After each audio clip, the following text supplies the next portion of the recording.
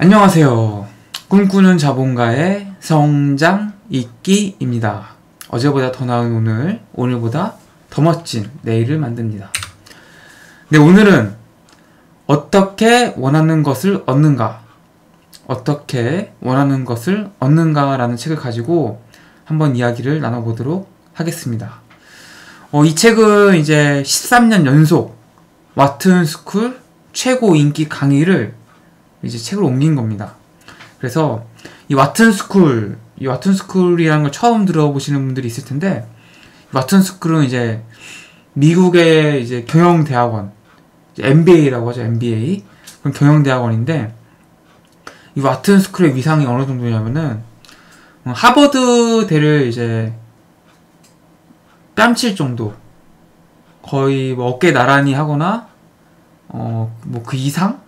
약간 이런 식으로 생각하시면 됩니다. 그래서 와튼 스쿨은 실제로 굉장히 top school입니다. 예. 하버드 MBA와 견주어도 전혀 아쉬울 게 없는 그 정도의 미국 최고의 MBA 중 하나고요.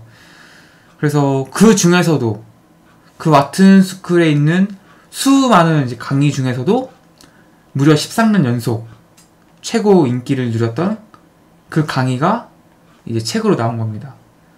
이 어떻게 원하는 것을 얻는가 뭐 제목에서 이제 느끼실지 모르겠지만 이 책은 이제 상대방과 협상을 어떻게 할 것인가 상대방과의 타협 협상을 통해서 내가 원하는 것을 어떻게 손에 넣을 것인가에 대해서 이야기를 하는 책입니다. 그래서 뭐 내가 타인과 뭐 협상을 해야 되는 상황이거나 뭐 타인과의 뭔가 협의 뭐 이런 걸 하셔야 되는 분이라면은 반드시 읽어보실 만한 책입니다. 그래서 이 책의 저자는 스튜어트 다이아몬드라는 교수님이 쓰신 책이고요. 출판사는 에이트 포인트입니다. 가격은 15,000원이고요. 출간일은 2011년 11월 30일에 나온 책입니다. 꽤 오래됐죠? 예. 쪽수는 400쪽이고요. 어, 지금 이제 이 책을 검색을 해보시면은 책의 표지가 바뀌어 있습니다. 제가 보기에는 이제 뭐 개정이 되면서 약간 좀 판형이 바뀌면서 표지가 좀 바뀐 것 같고요. 자, 그, 제가 읽은 책은 이제 옛날 책이라서 이 표지를 일부러 갖고 온 거고, 어, 새롭게 보시는, 뭐 사서 보시는 분들은 아마 이거와는 다른 표지로 된 책을 보시게 될 겁니다. 네, 오늘 함께 이야기해 볼 것들은요, 크게 두 가지인데, 음, 첫 번째, 그녀가 비행기를 탈 수 있었던 이유. 두 번째, 12가지 협상 전략 중에서 이제 첫 번째에서 여섯 번째까지 이 절반을 한번 이야기해 보도록 하겠습니다.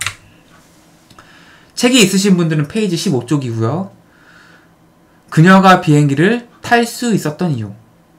게다가 그녀는 내 협상론 수업에서 배운 6가지 방법을 두루두루 잘 활용했다.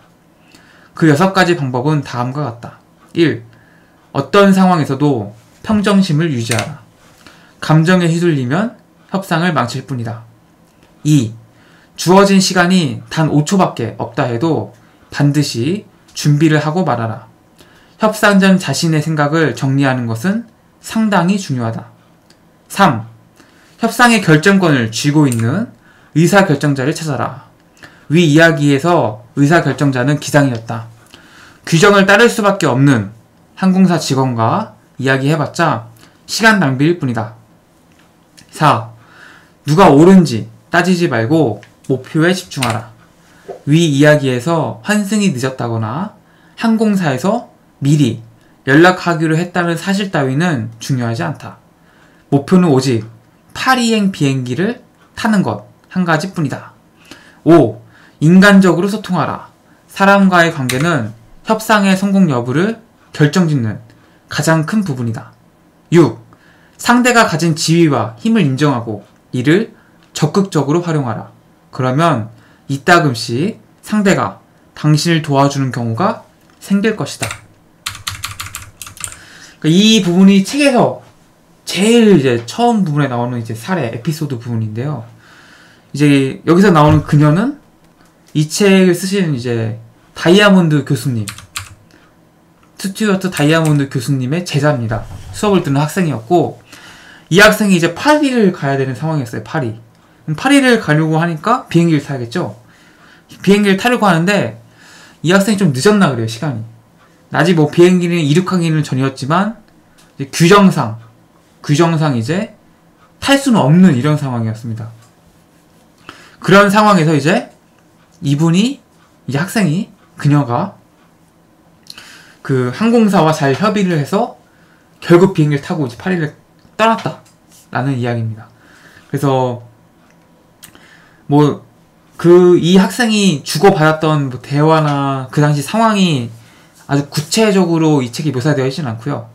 이런 사례가 있었다 정도로 나오고 어떻게 그녀가 협의를 잘해서 협상을 잘해서 비행기를 탈 수 있었는지 그 여섯 가지 방법을 이제 이야기합니다. 수업 시간에 그 여섯 가지 방법을 이야기하는 건데 첫 번째가 이제 어떤 상황에서도 평정심을 유지하라.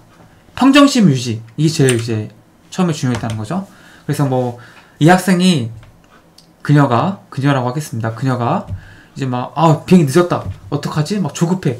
아 어떡하지 어떡하지? 아, 큰일 났어. 막 이렇게 막 우왕좌왕하지 않고 막 조급해서 막 언성을 높이거나 급하게 하지 않고 감정이 휘둘리지 않고 평정심을 유지한 채로 어, 상대방을 대했다는 거죠. 그리고 주어진 시간이 진짜 없었죠. 왜냐면 비행기가 다 이제 떠야 되는 상황이었으니까. 그럼에도 불구하고 내가 무엇을 얘기하겠다고 정리를 이제 간단하게라도 하고서 접근을 했다라는 겁니다. 세 번째, 어, 의사 결정자. 그러니까 우리가 비행기 늦었어요. 그러면은 이제 항공사 그 이제 스튜어디스나 뭐 이런 사람한테 스튜어디스라기보다는 그 뭐라 뭐라고 해야 되죠? 제가 비행기를 잘 안 타봐가지고 그 안내하시는 이제 스튜어디스 분들 있잖아요. 그 공항에 계신 분들 그분하고 이제 막 얘기를 할 거 아니에요. 막 떠나야 된다. 나 무슨 무슨 사정으로 가야 된다. 막 얘기해도 그분들은 권한이 없는 거예요. 그분들은 그냥 접객을 할 뿐이죠. 그냥 그분들 원칙에 따라서 해결할 뿐이기 때문에 그분한테 백날 얘기해봐야 규정사 안 됩니다라는 말밖에 들을 게 없는 거죠. 근데 이제 그녀는 이 결정권을 가지고 있는 사람한테 이야기를 한 겁니다. 의사 결정자. 이 비행기를 진행되던 걸 멈추고 나를 태울 수 있는 사람에게 이야기를 했던 거죠. 그래서 항공사 직원과 이야기한 게 아니라 의사 결정자. 이 비행기에 나를 태워줄 수 있는 의사 결정자인 기장에게 이야기를 했다는 거죠. 그리고 누가 옳은지 따지지 않고 목표에 집중을 했다는 거죠. 뭐 환승이 늦었다거나 뭐 항공사에서 미리 연락을 뭐 하기로 했었는데 안 했다거나 뭐 이런 식으로 이야기를 함으로써 시간을 뭐 보낸다거나 혹은 잘잘못을 따짐으로써 네가 잘못했으니 날 태웠다 이런 게 아니라 누가 잘못했는지 중요하지 않다. 나는 오로지 파리 비행기를 타는 게 목표이기 때문에 누가 잘못을 했는지 그 잘잘못을 따지면서 시간을 보내진 않았다는 겁니다. 그래서 내가 원하는 목표에 집중을 했다는 거죠. 뭐 잘잘못 따지는 게 뭐가 중요하겠어요. 나는 파리행 비행기를 타는 게 목표인데 파리행 비행기를 타야 된다. 타기 위해서 어떤 수단과 목적을 가리지도, 가리지 않고 나는 파리행 비행기에 몸을 실어야 된다. 이것만 생각을 했던 거죠. 다섯 번째, 인간적으로 소통을 해야 된다. 인간적으로.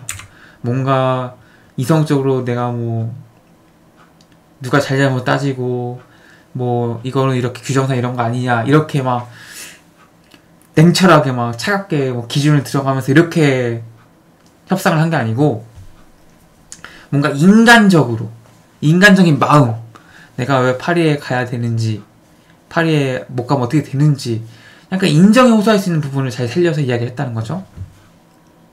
그 여섯 번째 마지막으로는 상대방이 가진 지위와 힘을 인정하고 이를 이제 적극적으로 활용했다는 거죠. 그러니까 상대방 기장이 가진 힘 무슨 힘 있죠? 비행기를 약간 좀 이륙을 지연시키고 나를 태울 수 있는 힘이 있잖아요. 이거를 그냥 인정을 해주고 당신의 힘을 나한테 좀 빌려달라. 이렇게 뭐 딜을 한 거죠. 이 여섯 가지 때문에 결국 파리행에 몸을 싣고 무사히 비행기를 타고 파리에 갈 수 있었다는 이야기입니다. 어, 이렇게 여섯 가지 나오지만 한 가지 제가 이제 아쉬웠던 거는 그그 당시 상황이 아주 구체적으로 나와 있었다라면은 정말 여섯 가지가 어떻게 어떻게 적용됐는지 잘 알 수 있었을 텐데 안타깝게도 그렇게 막 나와는 있는데 아주 구체적으로 무슨 대화가 오갔고 막 이런 것까지는 아주 잘, 나, 잘 나와 있지는 않습니다. 그래 조금 아쉽긴 하지만 어쨌거나 이 여섯 가지 방법을 통해서 우리는 뭔가 이제 알 수 있는 거죠. 아 협상을 할 때는 이런 중앙 요소들이 있구나. 우리가 협상을 할 때는 이 여섯 가지 요소를 잊어서는 안 되겠구나. 라는 것을 한번 볼 수 있는 그런 사례였습니다. 네, 페이지 18쪽입니다. 12가지 협상 전략. 1에서 6. 총 12가지 협상 전략이 있는데, 자, 여기서는 이제 첫 번째에서 여섯 번째, 절반을 다룰 거고, 다음 영상에서 제가 일곱 번째부터 열두 번째까지를 다룰 예정입니다. 이제 효과적인 협상을 위해 이 책에서 다룰 12가지 전략을 소개하겠다. 이 전략들은 그동안의 협상법과 상당히 다르다. 이 전략들은 전체적으로 협상에 대한 전혀 다른 사고방식을 심어줄 것이다. 그 차이는 평지만을 보는 아마추어와 골짜기와 봉우리까지 보는 프로의 차이만큼 크다. 아마추어와 프로의 게임은 완전히 달라야 하지 않겠는가? 1. 목표에 집중하라. 협상을 통해 얻고자 하는 것은 바로 목표 달성이다. 그런데 애석하게도 많은 사람들이 부차적인 것들에 신경 쓰느라 목표 달성에 방해가 되는 행동을 하곤 한다. 협상을 할 때 인간관계만을 생각하거나 공통의 관심사에 빠져들거나 윈윈하는 방법 혹은 협상 도구 자체에만 집중해서는 절대 안 된다.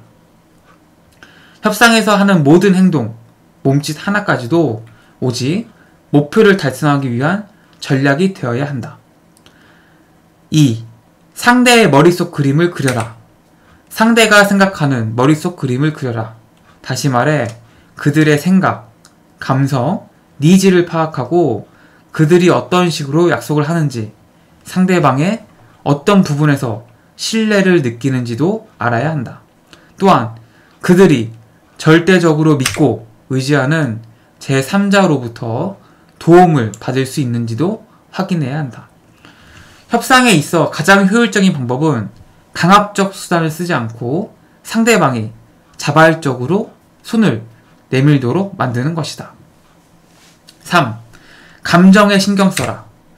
세상이 언제나 이성적으로 돌아가는 것은 아니다.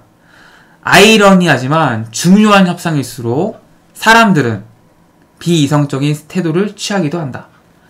사람이 감정적으로 변하면 상대의 말을 듣지 않게 된다. 상대방의 감정에 공감하면서 필요하다면 사과를 해서라도 상대방의 감정을 보살펴라. 그런 후 상대가 다시 이성적인 판단을 할 수 있도록 유도해야 한다. 이를 전문적인 용어로 감정적 지불이라고 한다. 4. 모든 상황은 제각기 다르다는 것을 인식하라. 모든 협상에서 만능으로 통하는 전략이란 존재하지 않는다. 같은 사람과 같은 내용으로 협상하더라도 시간에 따라 그날의 날씨와 컨디션에 따라 상황은 달라진다는 걸 명심하자. 때문에 그때그때의 상황을 새롭게 분석할 줄 알아야 한다. 모두에게 통하는 일반적인 이론은 개별적인 상황에서 별다른 의미가 없다. 일본인과 협상하는 법 혹은 무슬림과 협상하는 법은 모두 틀렸다고 봐도 무방하다. 5. 점진적으로 접근하라. 사람들은 종종 한꺼번에 너무 많은 것을 요구하는 바람에 협상에서 실패한다. 성급한 말과 행동은 상대방의 마음을 멀어지게 할 뿐 아니라 위험 요소를 키울 뿐이므로 협상을 할 때는 걸음걸이의 보폭을 줄여야 한다. 한 번에 한 걸음씩 상대방을 목표 지점으로 끌어들여라. 즉, 상대방을 친숙한 시점에서 시작해 점차 내 영역으로 유도하라는 뜻이다. 상대가 아직 나를 덜 신뢰한다면 더욱 속도를 줄여야 한다. 협상의 매 단계마다 상대방과의 간격을 확인하라. 간격이 많이 벌어졌다면 천천히, 아주 천천히 좁혀 나가야 한다. 6. 가치가 다른 대상을 교환하라. 사람들은 저마다 다른 가치 기준을 갖고 있다. 따라서 쌍방의 가치 기준을 확인하여 한쪽은 중요하게 생각하고 다른 한쪽은 중요하게 생각하지 않는 대상을 서로 교환할 수도 있다. 가령 공휴일에 일하는 대신 전체 휴가 일수를 늘리거나 텔레비전을 보는 대신 공부를 더 하거나 물건의 가격을 깎는 대신 다른 고객을 소개시켜 줄 수도 있을 것이다. 교환 대상은 단순한 이해관계나 필요의 범위를 넘어선다. 이 전략은 협상에서 목표 파일을 크게 늘리고 더 많은 기회를 만들어낸다.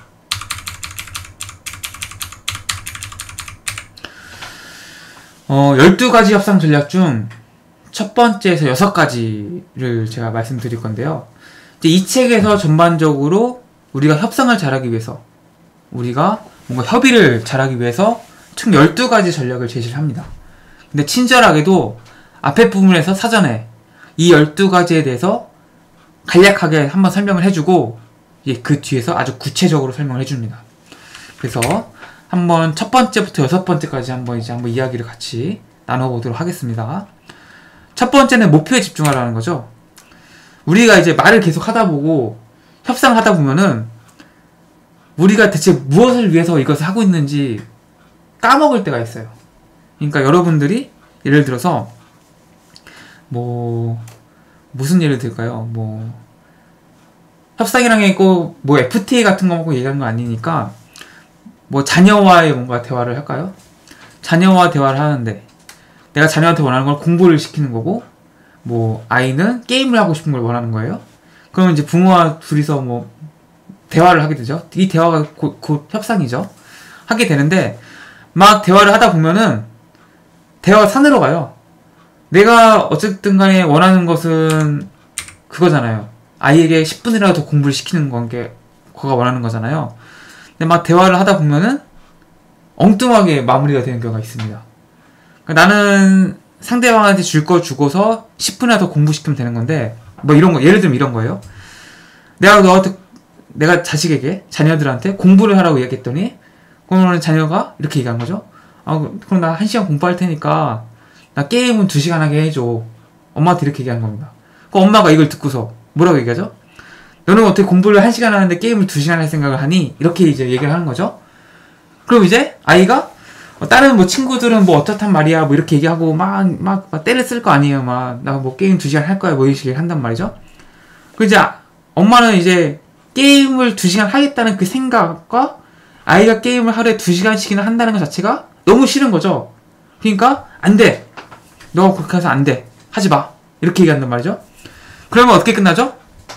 아이도 막, 뭐 화가 나고, 이제 뭔가 좀, 엄마가 내말안 들어준다고 좀 짜증을 내는 거죠? 그럼 그 협상이 결렬이 돼요. 협상이 결렬되면은 대체 뭐가 남는 거죠? 남는 게 없죠. 왜? 아이는 이제 기분이 상해서 어차피 공부도 안 하고 게임도 이제 안 하는 거죠. 근데 생각해보세요. 여기서 이제 엄마가 내가 아이를 한 시간이라도 더 공부를 시키겠다고 이제 이 목표를 잊지 않았다면은 이 목표를 잊지 않았다면은 게임 한 게임 두 시간 주고 공부 한 시간 시켰을 거예요. 그럼 최소한 공부 한 시간 했잖아요. 어쨌든 간에. 근데 협상이 결렬되고 너 게임 두 시간 안 돼. 너 게임 너무 많이 하는 거야. 이렇게 딱 끝내버림으로써 아이는 게임 두 시간을 안 하지만 공부도 한 시간 안 하는 이런 결과가 나오는 거죠. 이것이 바로 우리가 목표를 잊어버렸기 때문에 이 아이가 내가 대화를 했을 때 처음 목표했던 거는 하루에 공부를 하나도 하지 않는 이 아이에게 10분이라도 1시간이라도 공부를 시키는 게 목표였는데 이 아이가 아이 공부 1시간 하라고 했더니 게임을 2시간 한다고 하네?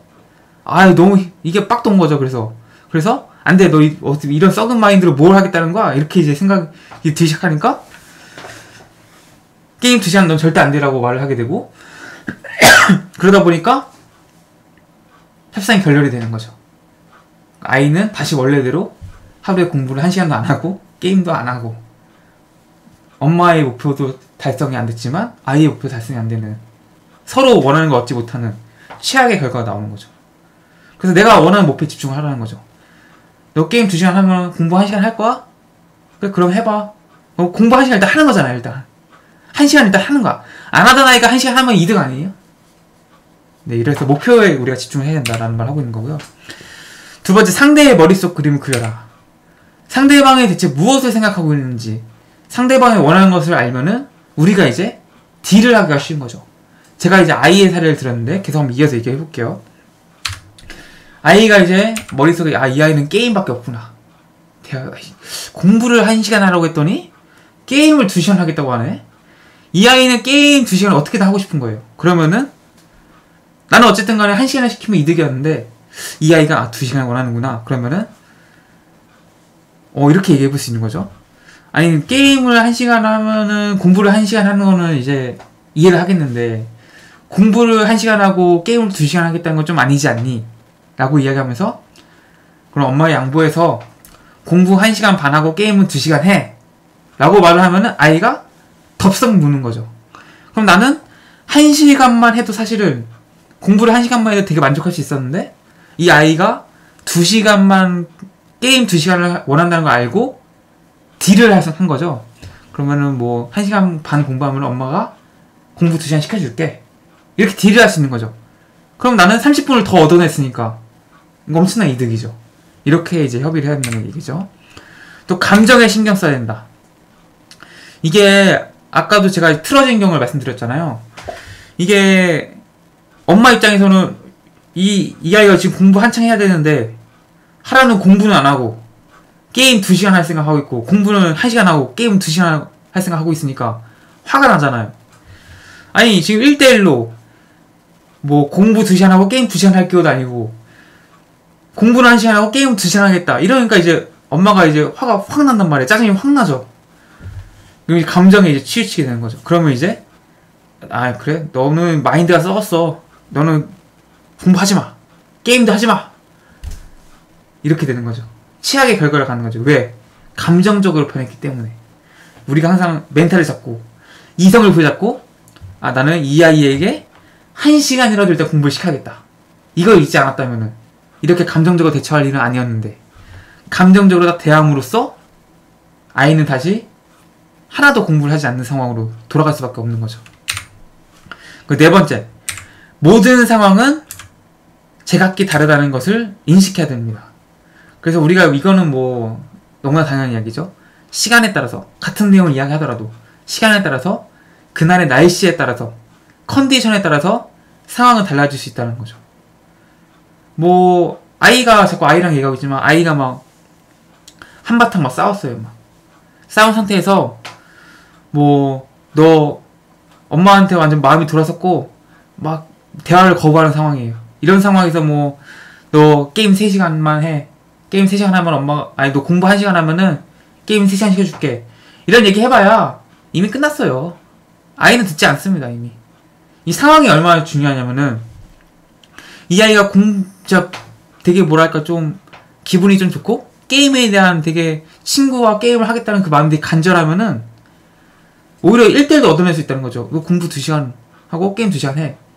이것까지 가능하다는 거죠. 이거는 이제 상황, 뭐 컨디션, 뭐 이런 것들이 이제 협상에서도 굉장히 중요한 요소를 미친다는 겁니다.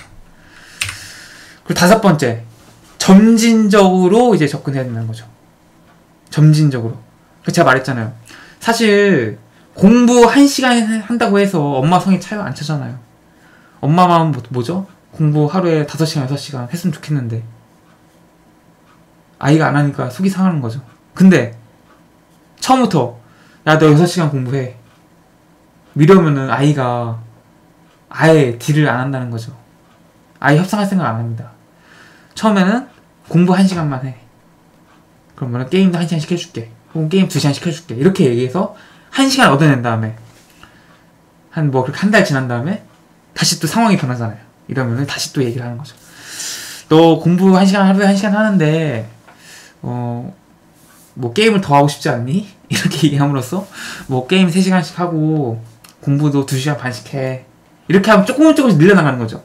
이렇게 점진적으로 뭔가 해야지 욕심에 너 공부 5시간 해 하루에 이러면은 이미 질려버려서 안 한다니까요. 그래서 협상할 때는 항상 점진적으로 나아가야 된다. 그래, 그렇고요 그 다음에 여섯 번째. 가치가 다른 대상을 교환하라. 가치가 다른 대상.